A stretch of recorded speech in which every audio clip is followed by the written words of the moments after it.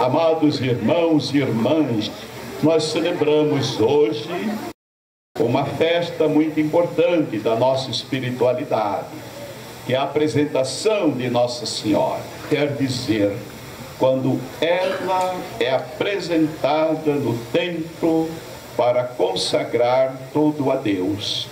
E aí começa esse itinerário de Maria, Maria Santíssima, como nosso modelo de espiritualidade, de crescimento na fé e de vida. Nós estamos aqui aos pés dela, aqui no campinho do convento da Penha. Este lugar que transpira ação de graças, graças a Deus e amor. Porque lá na capela do convento tem a estampa, o quadro que retrata a imagem de Nossa Senhora das Alegrias, trazida por Frei Pedro Palácio em 1558.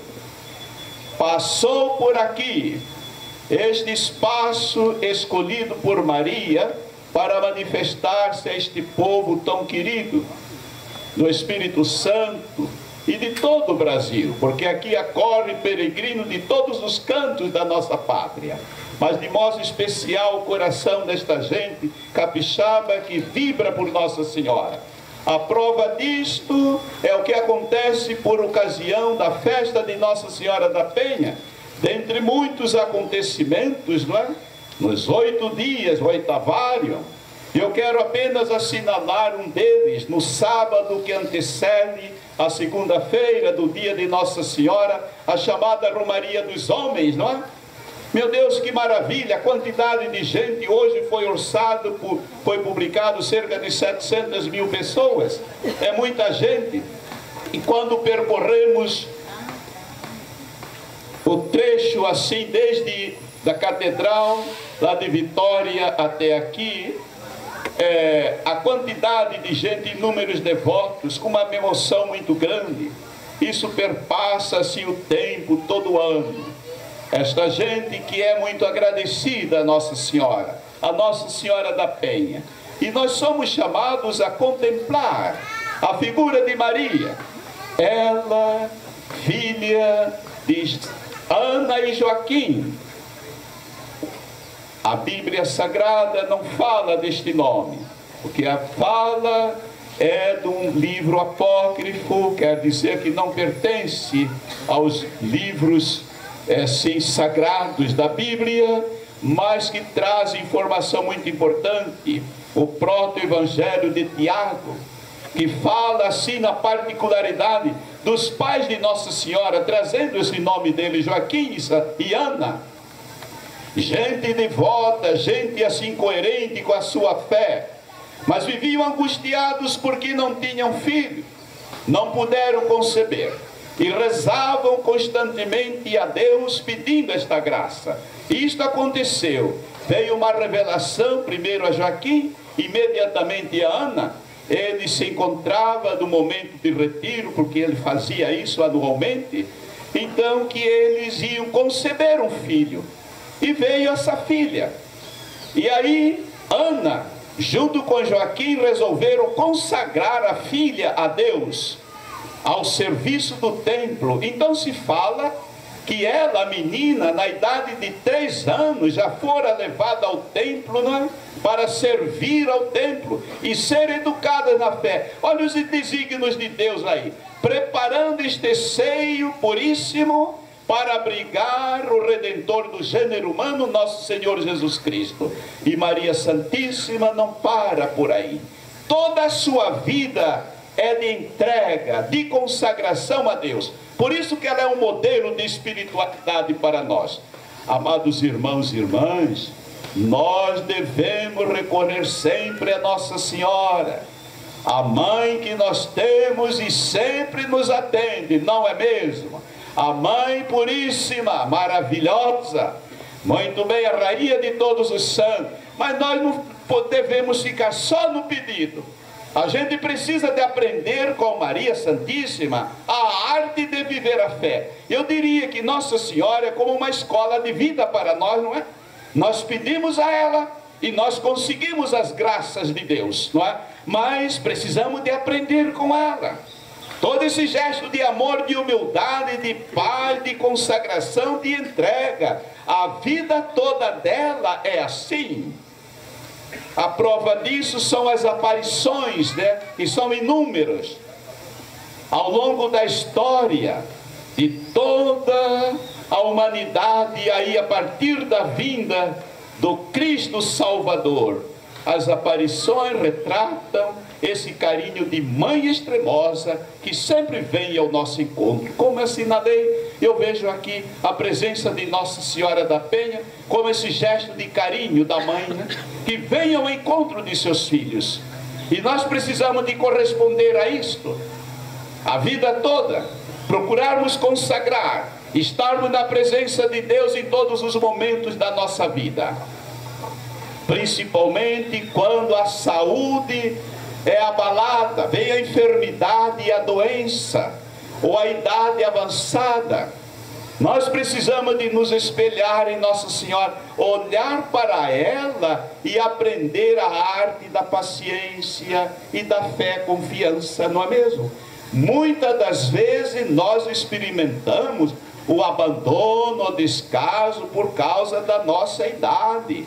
Às vezes a nova geração não valoriza isso aí, não é? mas da parte de nós, os outros, precisamos de nos cuidar, para olhar com carinho as pessoas que estão com mais idade, né? como nós temos a graça de ver aqui, é, ao redor do altar, tantos irmãozinhos irmãzinhas nossas, não é?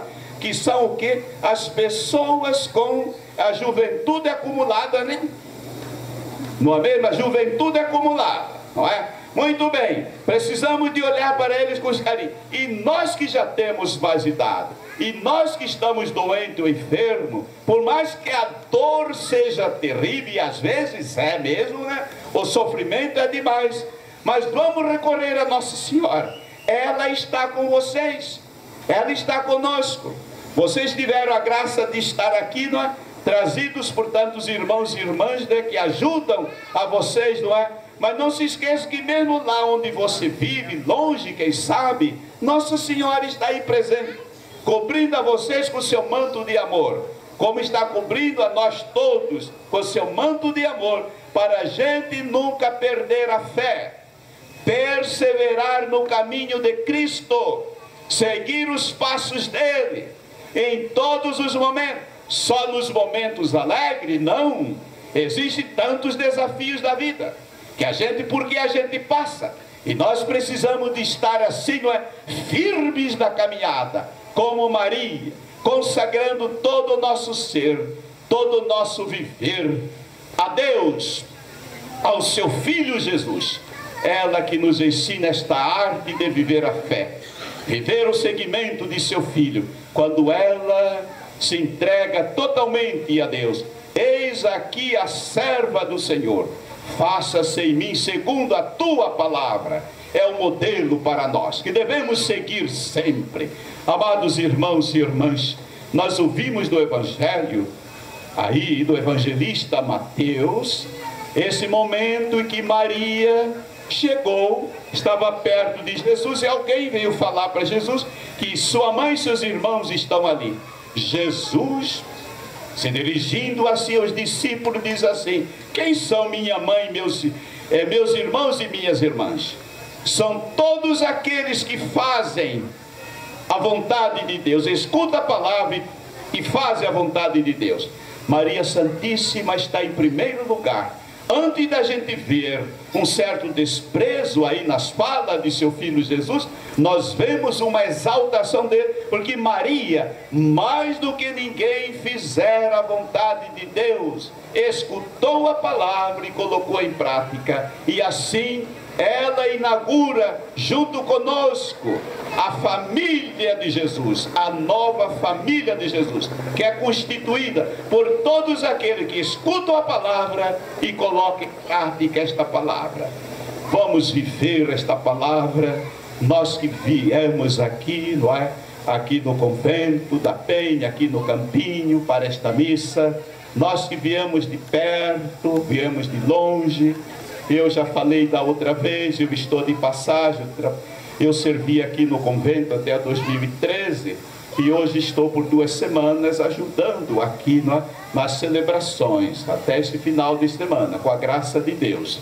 Não é? Todos viemos aqui para quê?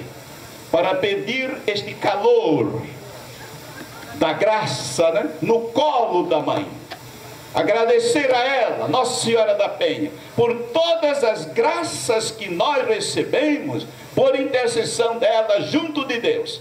E viemos aqui também para pedir força, não é? Para viver a fé. Nós que estamos precisando, a nossa família, as pessoas que nós recomendamos, precisamos da força para viver a fé, da resposta de vida, vida em plenitude, para o testemunho aí fora por onde a gente andar. E Nossa Senhora está a dizer o quê? Como boa mãe que é, escute a palavra do meu filho. Procure fazer a vontade dele. É o que Jesus falou ali no momento aí que o Evangelho proclamou. E ele está a dizer para nós: a nossa maior força está justamente na palavra de Deus, que nos ensina a nos consagrar toda a nossa vida a Deus, como Nossa Senhora fez. Nós aprendemos com ela essa arte, desde menina, pequenina. Ela é apresentada no templo e ela honra essa escolha de Deus ao longo de todo o seu viver. Ela está glorificando a Deus, fazendo a vontade de Deus. É o ensinamento máximo que nós aprendemos hoje. Amados irmãos, é essa recomendação da nossa mãezinha. Quando a gente descer esta colina santa, vamos ter certeza, não é? desta realidade. Se a gente escutar a palavra, procurar colocá-la em prática, o nosso caminho é abençoado, a nossa vida é abençoada, o nosso viver em geral, e com eles todos os nossos que queremos recomendar. Que Nossa Senhora da Penha abençoe a todos, de fato, cubra com seu manto de amor todos que estamos aqui participando e todos aqueles que nós queremos recomendá-los a Nossa Senhora. Que Deus seja louvado.